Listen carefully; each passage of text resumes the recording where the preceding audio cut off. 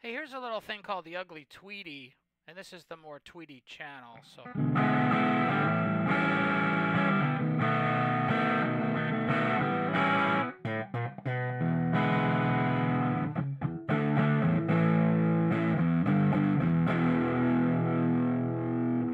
there's a more British channel. Let me switch channels. This is going to be cranked up a little bit.